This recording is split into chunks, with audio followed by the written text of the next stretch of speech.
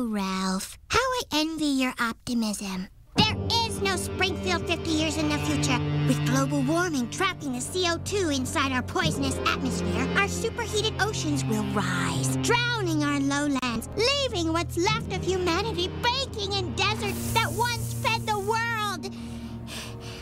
And in the new Nineveh,